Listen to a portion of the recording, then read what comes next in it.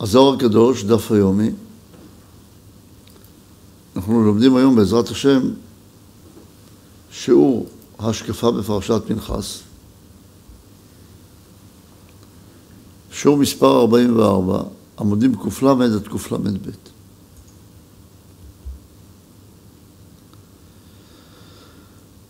מאמר, ויהי היום ויבואו בני האלוקים. למדנו כבר בבראשית מי הם בני האלוקים, ולמדנו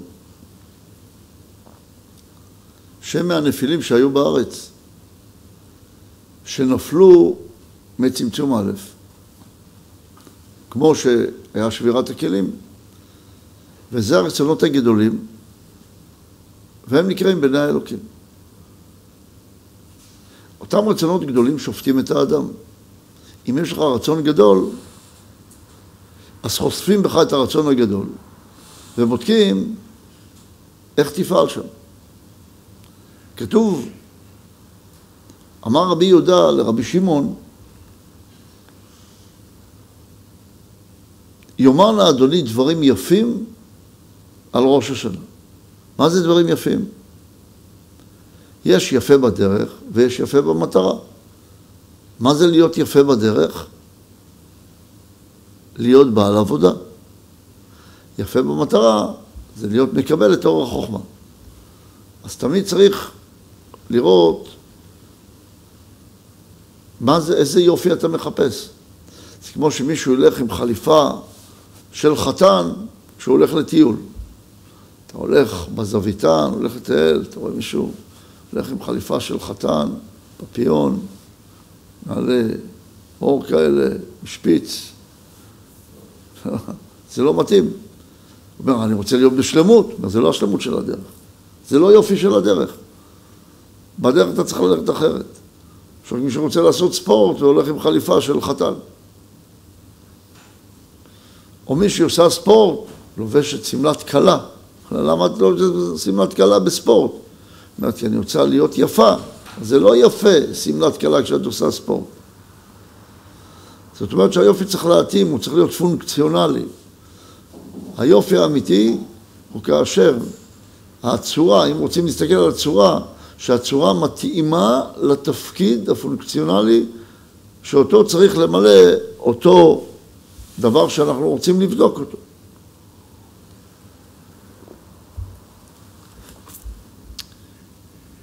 אז ככה צריך לבדוק יופי בחיים. מה זה יופי?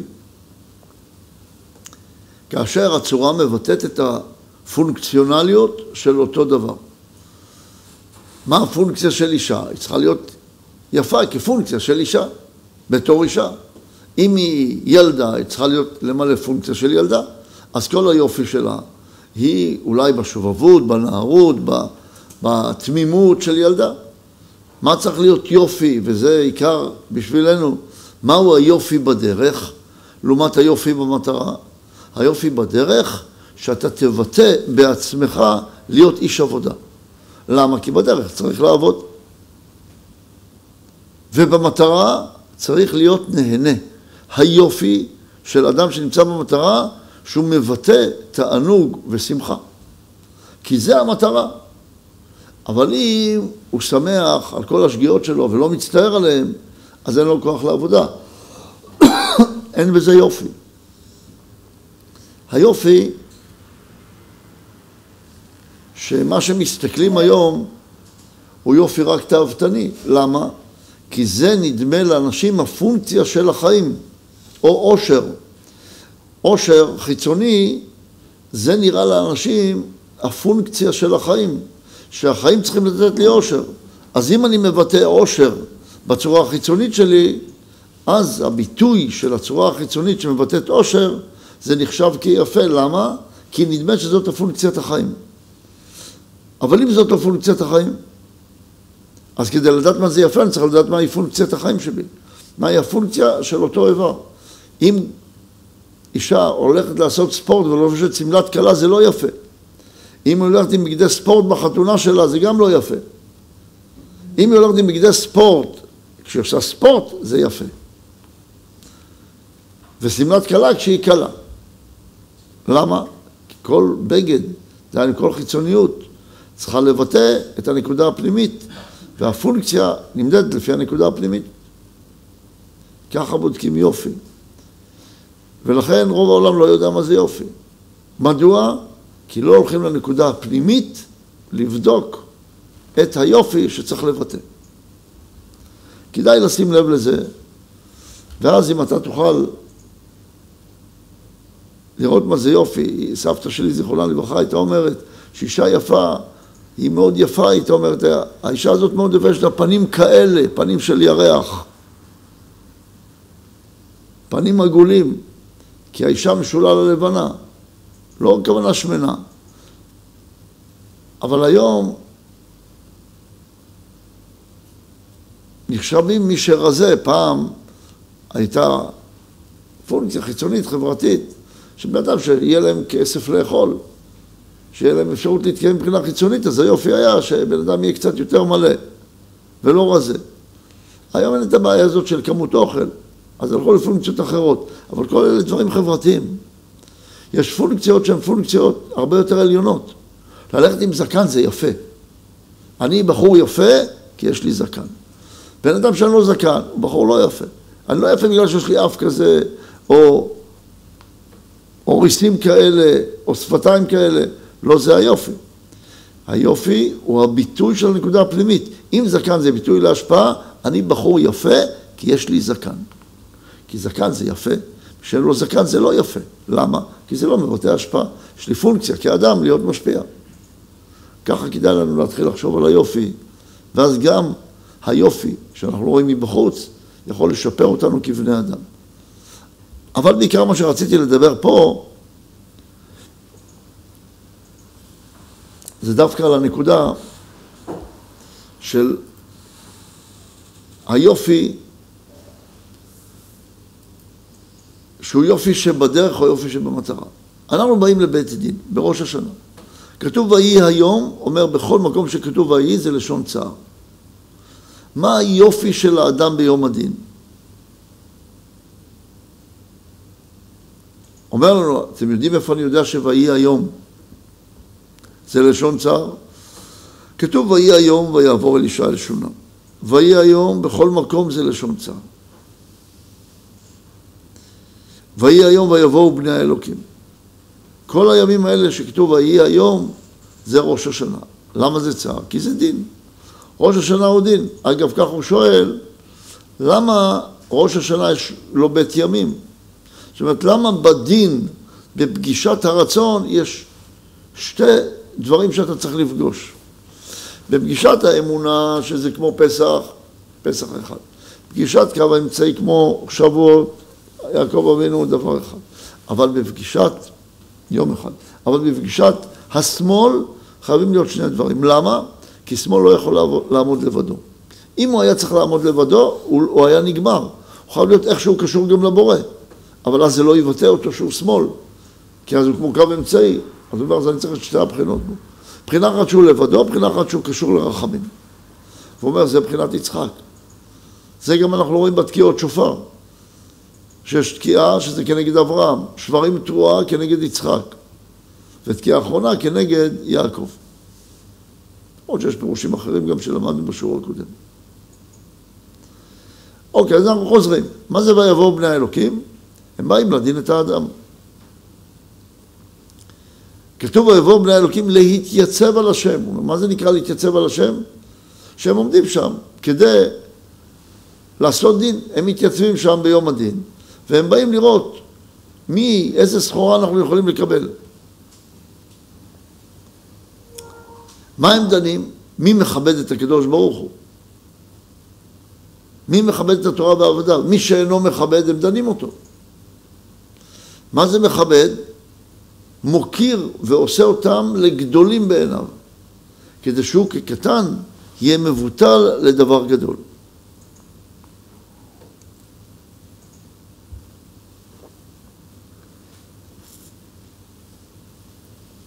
עוד כתוב ויבוא גם השטן בתוכם. שואל מה זה ויבוא גם השטן? אומר השטן, זה ברור מי זה השטן, אבל מה זה גם? אומר גם תמיד בא לרבות. אבל לרבות גם את הנקבה של השטן. אז הם באים לדון את האדם, לקטרג עליו, כמו שהיה באיוב. אגב כך אומר לנו שאיוב, שהוא לשון אויב, אבל הוא גם לשון יואב, יואב בן צרויה, שדוד המלך ציווה על שלמה שלא ימות מות ישרים, שידאג שהוא ימות, כי בגד בדוד.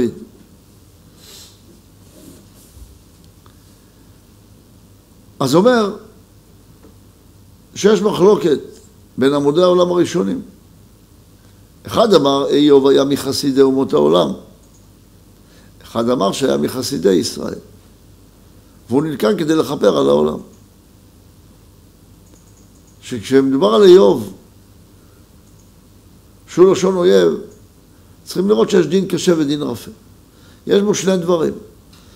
יש בו צד של אומות העולם שאני צריך להיות יכול להתגבר עליהם, שזה נקרא חסיד אומות העולם, והאור שמקבלים עליו זה חסדים מכוסים.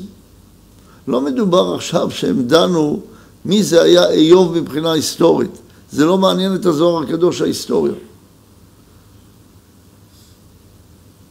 אלא הם דנים במושג של איוב, במושג הנפשי של איוב, ואומרים שהם נחלקו, כי הם נחלקו לבית דברים, כמו שראינו בית ימים של ראש השנה, כי הוא מתאר את המציאות של הדין בראש השנה, המושג איוב, ובנפש האדם ישנם שתי בחינות, בחינה אחת של דין קשה ובחינה אחת של דין רפה. על זה הוא בא ואומר, אגב כך, בוא תראה איך דנים את האדם. יש לו בית דינים. יש לו דין בבחינת צדיק ודין בבחינת רשע. אז הוא אומר, מה ההבדל בין צדיק לרשע? יום אחד מצא הרב אמנון הסבא את אליהו הנביא. אז הוא שאל אותו את השאלה הזאת. אמר לו, מה זה נקרא צדיק ורע לו, רשע וטוב לו? אמר לו, אליהו שאל את רב אמנונה, אז רב אמנונה ענה לו, אמר לו הפירוש הוא צדיק, תראו פירוש מאוד יפה, צדיק היינו שממועטים לו עוונותיו, נפרעים ממנו בעולם הזה בשביל עוונותיו, ועל כן צדיק ורע לו. אז מה זה צדיק ורע לו, רשע וטוב לו? לפי הזוהר, פנחס שנ"ד, אז צדיק ורע לו, אומר צדיק, כל שממועטים לו עוונותיו, אז אם יש לו מעט עוונות והרבה צדקות, אז הוא נקרא צדיק. אבל איך זה בא לידי ביטוי? שנפרעים ממנו בעולם הזה. דהיינו, במה הוא משלם על העוונות שלו? על עוון זה מלשון עיוות, בעולם הזה, דהיינו בחיצוניות. הוא מוכן לשלם ערך חיצוני בשביל דבר פנימי. זה נקרא צדיק ורע לו. לעומת זאת, מה זה רשע וטוב לו? הוא אומר, כל שמרובים עוונותיו וממועטים זכויותיו, אז מודדים, עוונות לא מעט זכויות. אם יש יותר עוונות מזכויות, זה נקרא רשע. מה, איך פועל רשע? נותנים לו שכרו בעולם הזה, דהיינו השכר שלו הוא בחיצוניות. וזה נקרא רשע וטוב לו. והשכר, זה כמו שאדם אומרים לו, תשמע, אתה רוצה שיהיה לך שכר גדול, תתחתן עם מישהי עשירה. הוא אומר, אני רוצה לאהוב אותה. מה זה משנה אהבה? העיקר שיהיה לך שכר, יהיה לך הרבה כסף. רשע ככה נוהג. הוא אומר, אני רוצה את הפעולה החיצונית. אני רוצה את התמורה החיצונית. כך אדם יכול לבדוק אם הוא רשע או צדיק. האם הפירות של חייך, או הפירות של פעולה כזו או אחרת, של פגישה כזו או אחרת, של ויכוח כזה או אחר, האם אתה רוצה את הפירות שיהיו פירות פנימיים או פירות חיצוניים? מה אתה רוצה מהאחר? שיפעל ככה, שיעשה ככה, או שפנימיותו תהיה אחרת? כשאתה פועל כלפיו. אבל בעיקר מה אתה רוצה מעצמך. למה אתה שואף? על מה אתה מפנטז בראש? על דבר חיצוני או על דבר פנימי? על זה שבך תשתנה הפנימיות ותהיה אדם יותר אוהב, יותר קשור, לישות האלוקית הקוסמית, או שאתה שואף שהבורא ירד אליך וייתן לך את הפיצ'יפקס הקטנים שאתה רוצה בעולם הזה. יותר כסף, יותר פרנסה טובה, יותר בריאות, שהרגל שמאל שלך שקצת כואבת תהיה בריאה, והשכן ממול לא יבנה את המרפסת, זה מה שאתה מבקש מהבורא. זה נקרא רשע. למה? כי הוא רוצה את הדברים בחיצוניות. אם אתה רוצה את הפרי בחיצוניות, זה נקרא רשע. אם אתה רוצה את הפרי בפנימיות, זה נקרא צדיק. כמובן שישנם עוד פירושים, אבל הפירושים האלה, הפירוש הזה נכון לפה.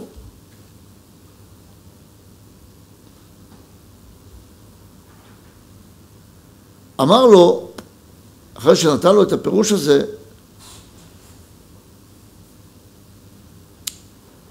שכאשר הקדוש ברוך הוא רוצה לכפר עוונות הדור, הוא מכה בזרוע שלהם ונרפאים כולם.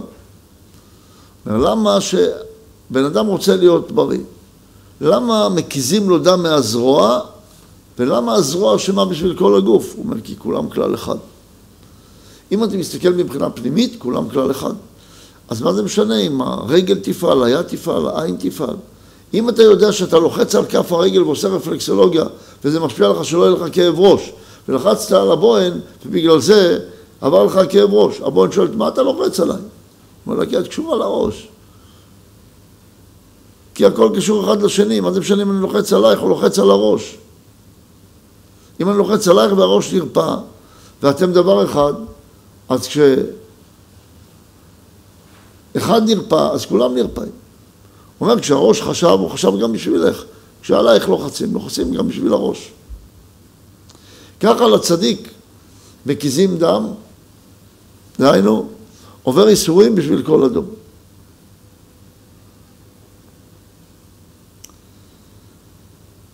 אדם צריך לראות איך הוא, איך הוא יכול להיות לצאת טוב בדין. מה זה לצאת טוב בדין? אדם פוגש הרבה מאוד. השאלה היא כיצד אדם צריך לנהל את מה שנראה לו כדין. כי אדם עומד למבחן החיים כמעט כל יום. והוא בוחן את עצמו במבחן החיים כמו בראש השנה. כל פעם כשמופיע אליו דין, דהיינו רצון לקבל שלא זה דין, והשאלה הוא איך הוא מנהל את רצונותיו. ראש השנה זה הניהול, זה שורש הרצון, ושם הוא מנהל את הרצונות שלו. לפי איך שהוא נוהג בראש השנה, כך האדם לוקח כוח לכל השנה לנהל את רצונותיו. אז מה הוא עושה עם הרצון בראש השנה? הוא תוקע בשופר, למשל. אז מה, איך אני מנהל את הרצון שלי? אני קודם כל משך אותו לבורא. אבל פה אומר לנו דבר יפה. אומר שמי שמתוודה על חטאיו, אז ניהול הרצונות שלו הוא נכון יותר, למה? כי אז הקדוש ברוך הוא שופט אותו. דהיינו הנקודה הפנימית ולא הנקודה החיצונית. לא גופו, אלא הקדוש ברוך הוא. לא אומות העולם, לא כל הדיינים שופטים אותו, כי תמיד כשהחיצוניות שופטת אותו, ולא האמונה שלו בבורא שופטת אותו, אז הוא לא מבין מה אני אעשה עם הרצון שלי. אז הרצון שלו נראה לו דבר רע, ונראה לו העולם לא טוב. כי כל הזמן פוגש רצונות והוא מתוסכל, כי באמת הוא אף פעם לא יוכל למלא את רצונותיו, אף פעם. הטבע של הדין, שאנשים פוחדים ממנו, הוא טבע רע. למה? כי הוא מת וחצי תאוותו בידו. כי זה נקרא בחינת רשע, שאף פעם הוא לא יהיה מסופק. למה הוא לא מסופק? כי הוא לא דן את עצמו ביחס לקדוש ברוך הוא. הוא דן את עצמו ביחס לחיצוניות. אז מה צריך לעשות? כדי לנהל את הרצון נכון, צריך לשייך אותו לקדוש ברוך הוא. אז אתה צריך להודות שהרצון לקבל שלך הוא דבר לא נכון כשהוא עומד בפני עצמו. אבל אם אתה לא תודה, איך תתקן? כתוב מודה ועוזב ירוחם. ולכן צריך האדם להתוודות ולפרט חטאיו בצורה אותנטית, פנימית, בלי לפחוד ממה יאמרו עליך, אלא כל השפיטה שלך את עצמך היא ביחס לנקודה הפנימית שלך, לאמונה שלך, ביחס לקדוש ברוך הוא. כשככה אתה בוחן את עצמך, אז הקדוש ברוך הוא ששופט אותך, הוא תמיד שופט לטוב. וגם אם נראה לך שקרה דבר רע מבחינה חיצונית, אז אתה מבין שזה לטובתך. אז זה לא בעיה שמופיע רצון. לא בעיה שמופיע דין בעולם. כי אתה בטוח שהדין הוא לטובתך אם אתה שופט אותו ביחס לקדוש ברוך הוא. אבל אם אתה לא מייחס את הבריאה לבורא, שהבריאה היא צד הדין, אם אתה לא מייחס את הרצון שלך לבורא, אלא רק לעצמך, אז מה שישפוט אותך זה החיצוניות. אז אתה תבקש מהעולם שיגידו לך כמה אתה יפה, כמה אתה טוב, כמה אתה מוצלח. והרי תמיד אתה תראה שכמה שיגידו לך, זה לא יספיק לך. ואתה תראה שאתה לא מסופק. תראו מה קורה בהוליווד. פעם הייתה כתבה, אני לא יודע היום, 80 אחוז מהם משתמשים בסמים. למה? למה הם הולכים למקום הזה? למה הם לא מסופקים שהם כל כך מפורסמים ויש להם כסף? כי זה לא מספק. במקום לקחת סמים, היו תוקעים בשופר, היה להם יותר מוצלח. הם שייכים את הרצון שלהם לקדוש ברוך הוא. אולי אפשר לעשות סטארט-אפ, למכור שופרות בהוליווד. יכול להיות מוצלח.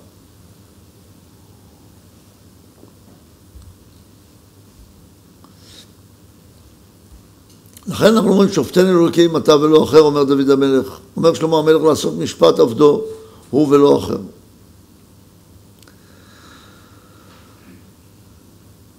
וצריכים לדעת שכל אחד צריך להתוודות, גם אם אתה יחיד, גם אם אתם רבים, גם אם זה שליח שבא בשביל הרצונות האחרים, כולם צריכים להתוודה, משום שכל מי שמפרש חטב, הבית דין של מעלה נבדלים ממנו ואינם מחייבים אותו, משום שאדם קרוב אל עצמו, וקרוב פסול לעדות. ועל כן אינו נידון על פי עצמו. מה זה קרוב אצל עצמו? הוא יודע והוא מודה שאני כלום ביחס לבורא. אבל אם לא קרוב אצל עצמו, זאת אומרת, הוא לא, לא הכיר את התכונה הזאת שהוא כלום והבורא הוא גדול. אז הוא ממשיך לחשוב שמגיע לו, הוא חושב שהוא הגדול. ואיך מתנהג הגאוותן? מה אומר הגאוותן? מגיע לי. מה אומר הענוותן, בעל ענווה? לא מגיע לי כלום. זה לא שלי, זה של הקדוש ברוך הוא. לא מגיע לי כלום. על מה רבים כל העולם? כל אחד חושב שמגיע לו. אבל אם לא מגיע לי, על מה אני אריב? מה, מה אני אריב? כאילו, אתה לא תקבל את זה. אתה צודק, אני באמת לא צריך לקבל את זה. זה של הקדוש ברוך הוא, זה לא שלי. לא, לא, אני אקח את זה. מה, אתה רוצה, זה הקדוש ברוך הוא מחליט. אין לך איך לקחת. אם כולנו היינו מתנהגים ככה, לא היה עם מי לריב. עם מי תריב? עם הקדוש ברוך הוא, זה לא שלך, על מה תריב? אבל יש לנו את ההרגשה הזאת. על זה כל הזמן הראש שלי עובד, הראש שלנו עובד. יהיה לי, לא יהיה לי, יהיה לי, לא יהיה לי. זה שלי, זה לא שלי. הוא ייקח לי, אני אקח לו. למה? בימים של ראש השנה, בית דין מתקינים כיסא, מתקנים כיסא למלך לדון את כל העולם. קודם ישראל נכנסים תחילה כדי שירבה הרחמים בעולם, כי אם ייכנסו אומות העולם, אז יהיה כזה דין שזה יהרוס את הכל. למה הם בית ימים בראש השנה? כי יש דין קשה ודין רך. זה נקרא מנולה ומבטחה. יום א' דראש השנה הוא מופיע הרצון הגדול, דין קשה, שהדרך להילחם בו היא לוותר עליו לגמרי. אני מוכן לוותר על הרצון הגדול כמו בעקידת יצחק. והיום שני הוא דין הרפיה, דין רך, ששם כבר אתה מנהל מה אתה כן, איך כן תשתמש ברצון. אז אתה צריך לנהל את הרצונות שלך. עם מה לא להשתמש ועם מה כן להשתמש. טוב, אנחנו נמשיך את כל ניהול הרצון שלנו, בעזרת השם, בשיעור הבא.